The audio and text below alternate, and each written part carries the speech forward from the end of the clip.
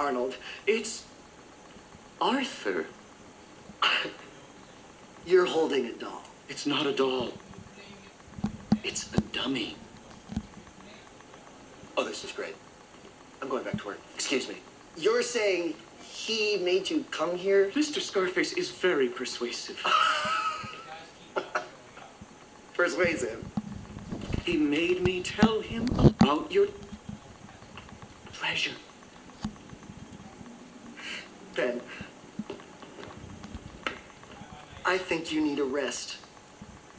And perhaps a psychiatrist. Then we can discuss you resuming your former duties. Obviously, I won't pay you for the time you were gone. Shut your tie hole!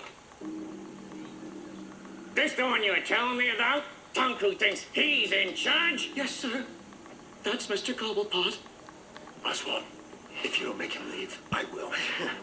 No one's going anyways. Hank, show these two doctors we're serious. Forgive me.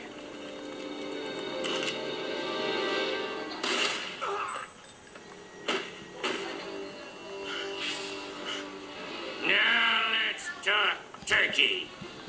Turkeys,